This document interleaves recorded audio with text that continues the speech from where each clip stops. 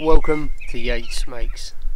Okay, you may have seen my previous video where I used damp paper to do a ballpoint emboss which then works really well as a transfer onto the gel plate.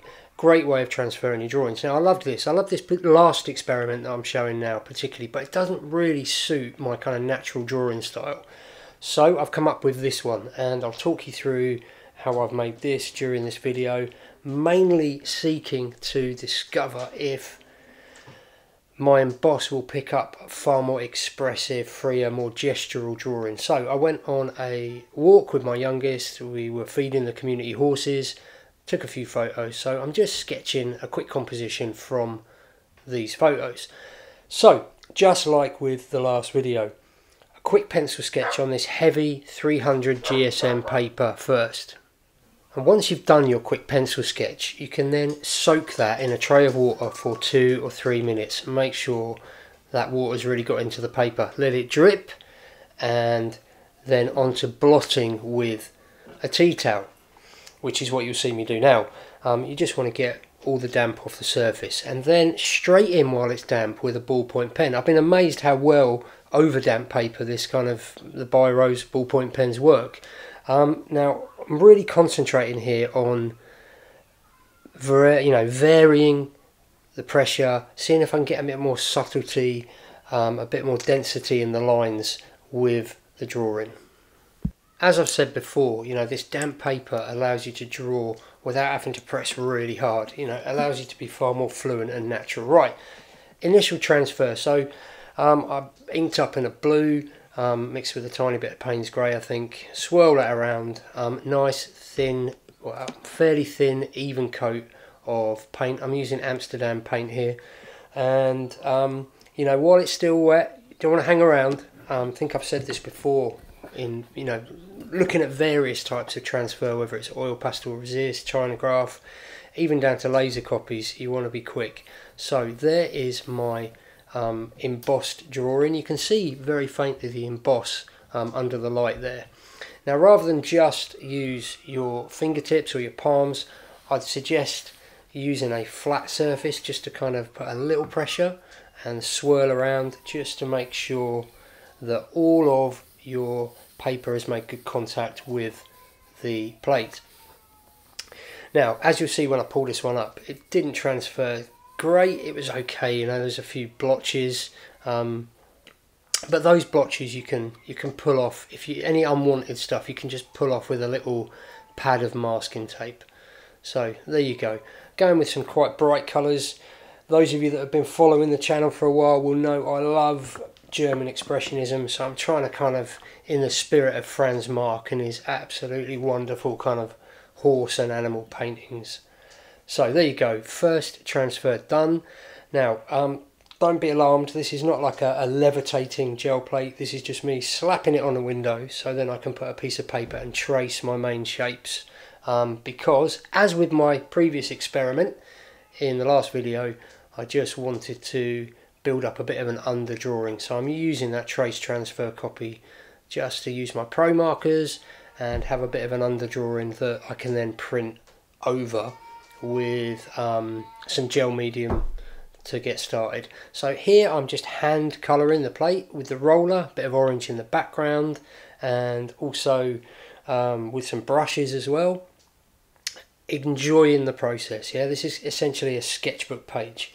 So um, having got this far, let all those layers dry completely and putting on some gel medium, which is what I'm going to use to pull all of these layers and transfer onto my drawn background. So there you go, just kind of registering it roughly. Obviously this is a very expressive outcome, so it doesn't have to be precise in any way.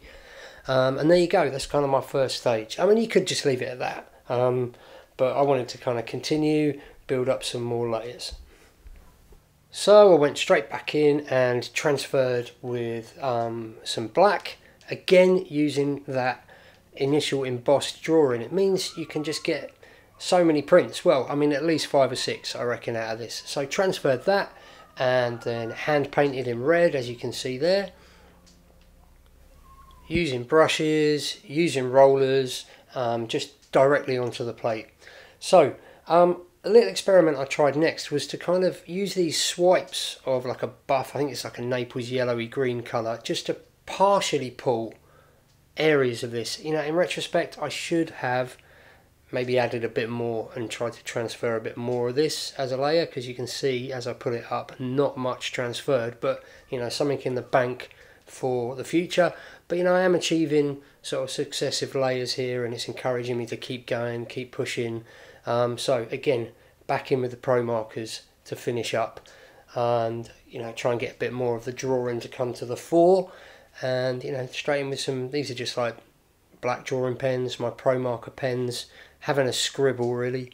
Um, the last stage was just a hand paint um, a little of that Naples yellowy green colour um, into some areas. Just a bit of kind of textural variety really and a few different marks in there.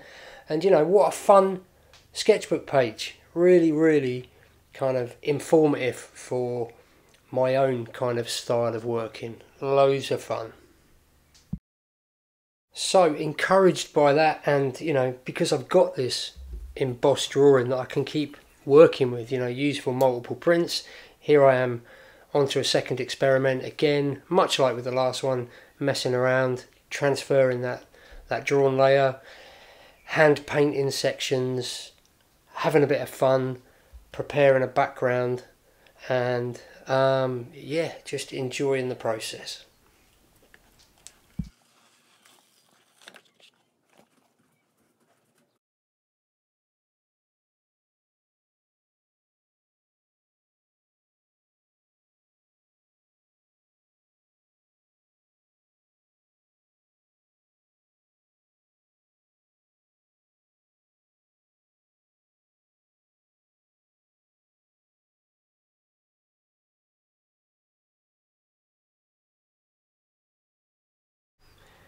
You know, if you're one of these gel printers that loves drawing, maybe there's something in here for you. Um, you know, I'm going back, this is just a set of kind of, uh, I'm not even sure if they're permanent pens, um, but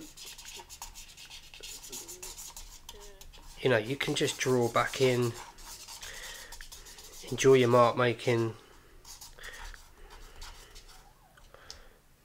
Probably going to ruin the tip of that one, drawing into wet acrylic. have to give it a wipe.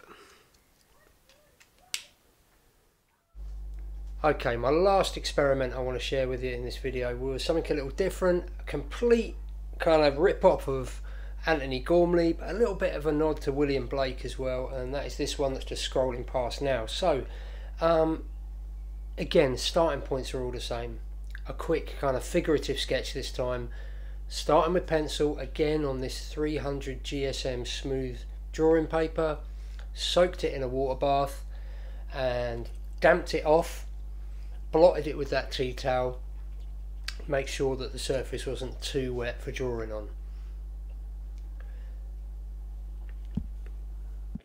Okay this time with the drawing I was again straight into that damp paper with a ballpoint pen.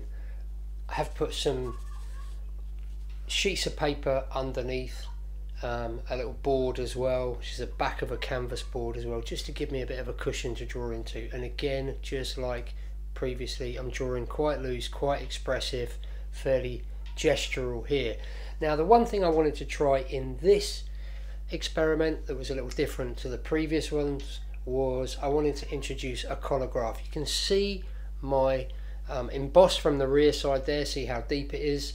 So to do the collagraph, while that paper was still damp, I snipped him out with my craft knife, uh, my scalpel, and the intention here is to mount him up onto a separate drawn image.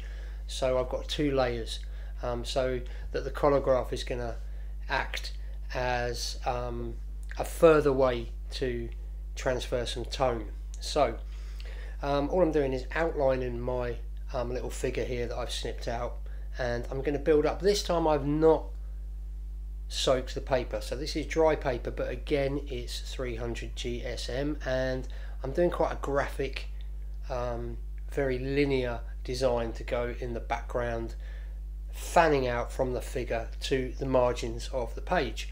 So um, I'll zip through this next bit, you don't need to see it all, but yeah, I'm using the ruler and I'm pressing quite hard to make sure that is quite a deep emboss.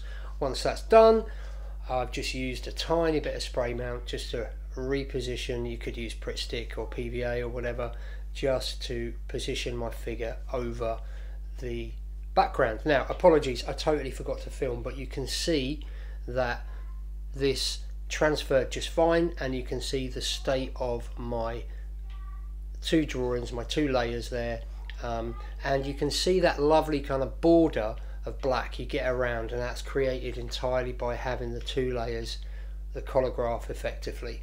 Okay, so from here on, um, you know, it's much the same as with the previous experiments, but probably a little more graphic. Um, so starting with this sort of dusty purple colour that I've just mixed up here on my, my smaller gel plate. Very useful tip if you want to mix colours you can mix them on a if you're lucky enough to have a separate plate you can uh, use it as a kind of palette if you like. So just blocking in you can be quite crude um, um, if you've used this method because you've got that black kind of um, border running around your your top layer um, you know I can outline if you like this background without worrying too much about accuracy and edges etc so um, nice thin layer. Working quickly here because I wanted to try a quick technique spotting some water on which is a kind of technique that I've borrowed and adapted from Drew Steinbrecher's um, channel. He does these wonderful little kind of uh, gel plate and collaged city inspired abstract pieces. Check his channel out. It's great. Um, uh, so that purple has pretty much dried but obviously the wet droplets I've put on allows me just to pull up that paint. It stops the drying process and creates this kind of nice little spectral kind of um I don't know. You tell me what it looks like. I've got no idea but I wanted just a little texture to play against the linear work in that background. Um, pulling this print with a wet layer. So all of those layers I just let dry completely and I'm pulling this with a again that kind of a Naples yellowy green color which is um, you know a color I've just bought with uh, some of the the ad money that the um, channel made. Um, so thanks for enduring the ads by the way. It does pay me back. Um, and uh, yeah using this wet layer to pull the print completely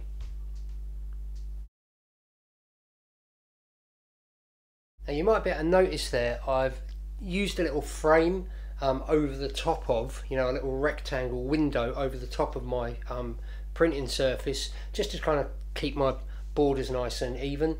Interestingly, I, left this one to dry overnight after kind of smoothing it down, trying to make sure it made really good contact. I left this to dry overnight and on this bottom edge that I'm just peeling up now, um, I think the frame just kept those bottom corners off the um, surface and you know it wasn't what I was intending but it kind of looked quite cool. Um, you know sometimes these accidents are informative sometimes not but you can see there pulling up the print. Um, annoyingly kind of ripped the the little window stencil I've made but you know hey ho you win some you lose some.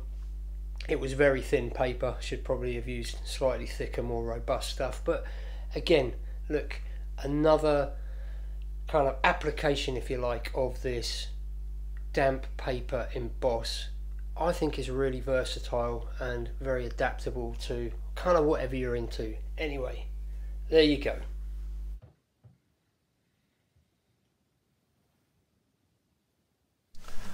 Alright, hope you enjoyed that one. Um, quick preview um, with the some of the money that the channel's now making and some kind donations that are coming in next video we can have a bit of an unboxing which I gather are quite popular on YouTube. Um, so we've got a few little goodies I've been shopping for um, including a kind of mega gel plate and uh, these kind of interesting little Caran d'Ache wax pencils that are going to be amazing I hope for resist work. Anyway um, obviously if you enjoyed the video please support by subscribing share it around comment below give me suggestions and I'll look forward to seeing you soon for another video. Ta-ta.